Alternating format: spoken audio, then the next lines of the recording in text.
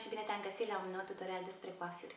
Flori sunt și astăzi m-am gândit să-ți arăt o idee de coafură pe părul lung, uh, coafură potrivită pentru seara de Revelion pentru că tot se apropie sărbătorile de iarnă și este foarte, foarte ușor de realizat. După cum vezi, părul meu, pentru că mi este foarte lung, uh, are extensii, extensii pe care uh, le-am ondulat, ca de altfel și restul părului.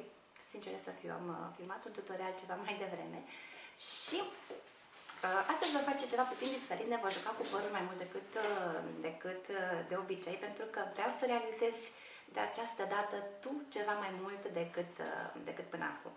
Pentru că încărarea mea este pe o parte, am să merg exact până în josul cărării și îmi voi secționa, după cum vezi, un mic Um, e nici pătrat, nu e nici triunghi, dar cam așa ar trebui să arate mai mult ca, un, ca, un, ca o formă de U, da? Acesta îl voi prinde. Okay.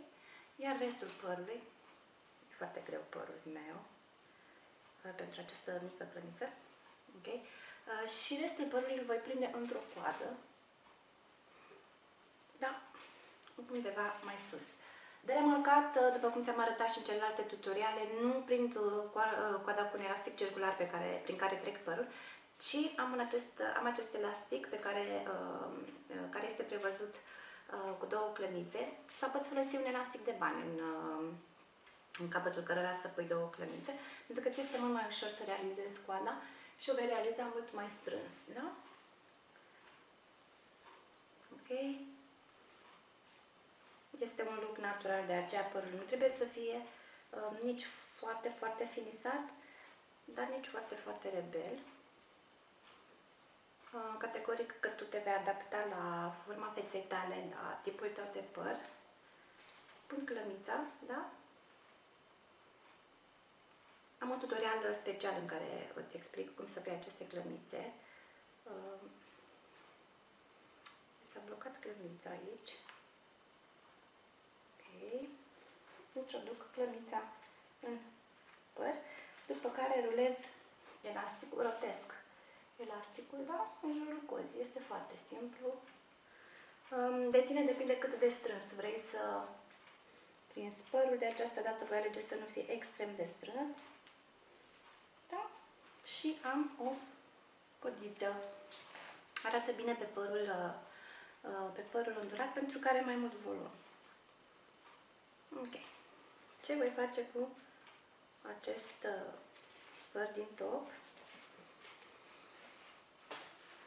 Îl voi ondula cu ondulatorul pe șuvițe. Nici foarte groase, nici foarte subțiri. Da? Și voi folosi uh, ondula, ondulatorul conic.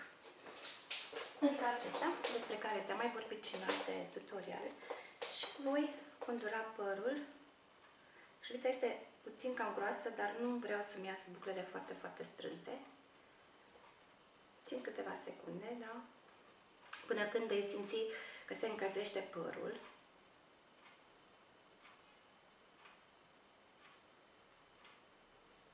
simți la de aici, deasupra, nu? Să fii foarte atentă să nu-l arzi și să nu lipești foarte tare, să nu lași, să nu sprijini ondulatorul de scalp, pentru că s-ar putea să doară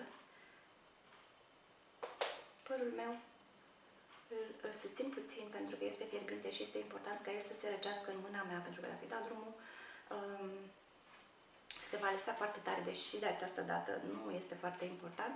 E bine de știut pentru, pentru celelalte dăți. Când vrei să-ți uh, ondulezi, de exemplu, părul, doar din ondulator. Da? Și fac cu tot părul din, uh, din față, procedez la fel am terminat de ondulat părul, da? Așa arată. Pentru că este uh, puțin uh, electrizat. Voi folosi puțin ceară pentru a calma aceste șuvițe, deci, deși nu țin foarte, foarte mult să fie uh, extraordinar de finisat.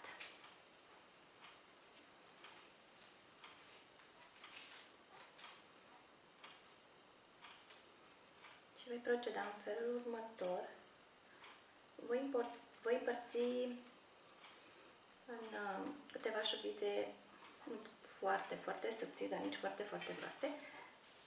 Voi tapa puțin spre rădăcină, fixez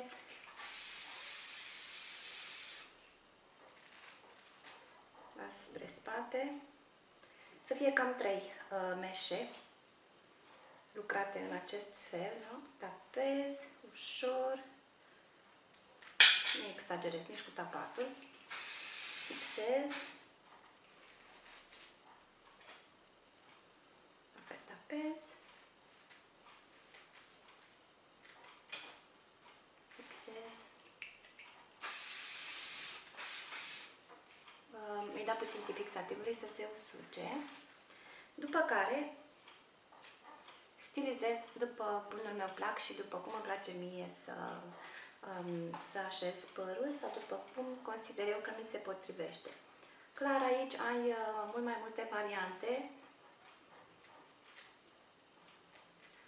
Depinde doar de tine cum îl faci.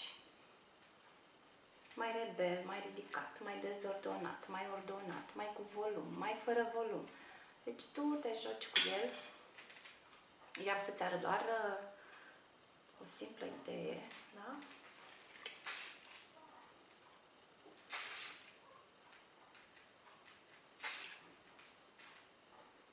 Ok.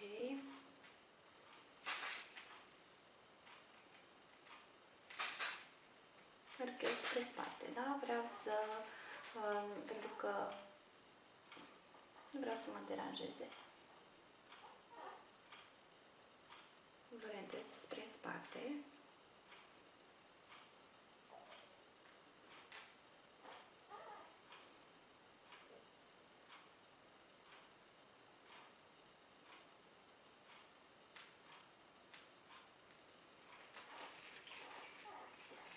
Fixez. Repet, aici depinde de tine cum te joci părul. Când vrei bucla mai strâns să răsucești, da? Și obține bucla mai strânsă. Când o vrei mai cu volum, tragi de ea. Este simplu. Te ajută foarte mult faptul că l-ai ondulat înainte și atunci e mult mai ușor să te joci cu, cu părul.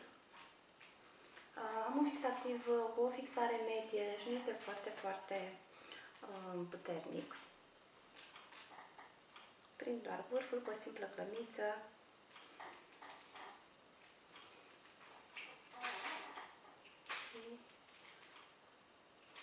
Poți să-l dai și peste cap. Dar uh, în perioada asta se poartă foarte mult părul uh,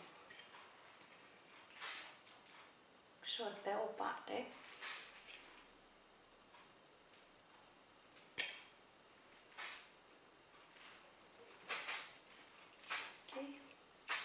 Uh, merge și pe părul drept, nu neapărat ondulat, dar mie îmi place, mai, mai ales că am extensiv păr, Mie îmi place mai mult cum arată coada ondulată, pentru că am o șuviță care nu este um, este ondulată. Niciodată să nu prindeți ondulatorul așa, așteptați puțin să verificați dacă este cald, pentru că puteți, este unul dintre uh, favoritele mele și um, ca temperatură și ca și ca formă, pentru că îmi place foarte mult cum ies buclele cu el, însă de asemenea este și cel mai periculos, pentru că nu are acea clăpiță de care să prindeți, cu care să prindeți părul și este posibil să, să vă frigeți. Eu folosesc fără mânușa termică, însă ondulez puțin această șuviță. Okay.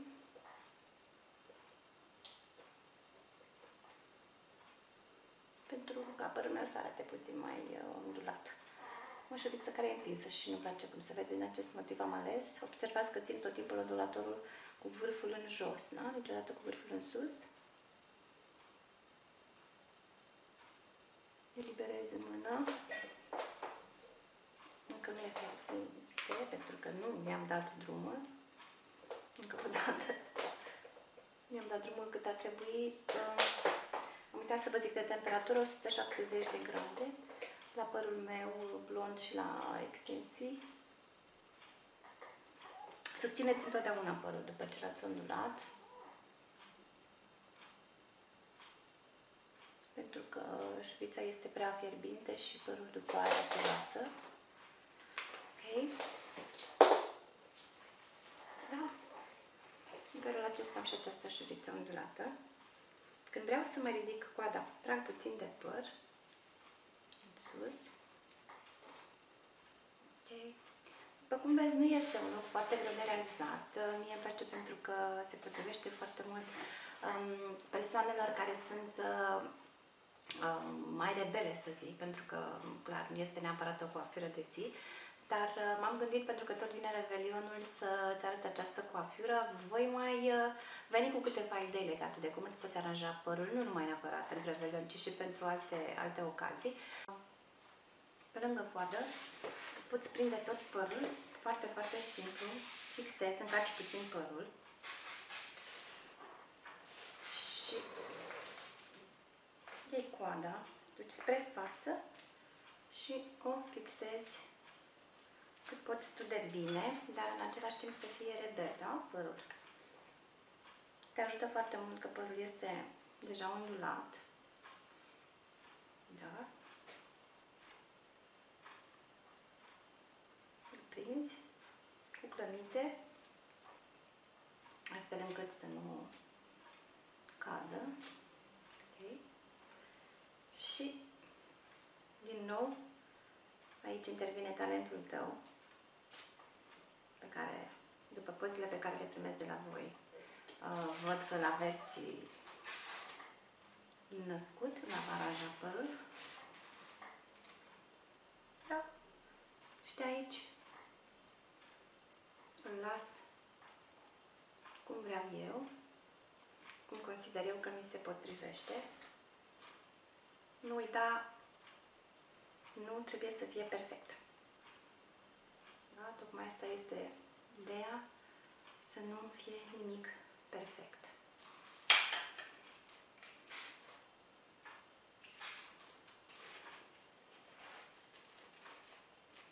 Prind și aceste vârfuri.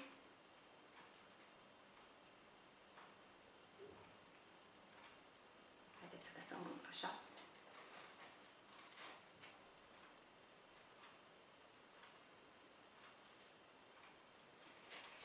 și am schimbat toată coafura, având ca bază, ca bază uh, coada prinsă și uh, uh, ondulat pretonul, vezi cât de ușor se poate schimba totul în condițiile în care poate ți-e cald la jumătatea serii și vrei să-ți prinzi părul sau poți apărea uh, din prima așa. Uh, nu este foarte greu, uh, este foarte bine prins pentru că este prins și în coadă și arată minunat. Mie îmi place foarte mult.